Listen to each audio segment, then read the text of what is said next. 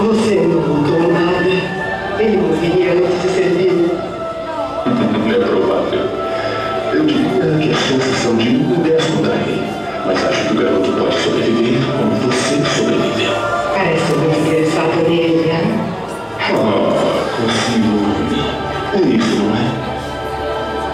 Não consegue me perdoar por ter usado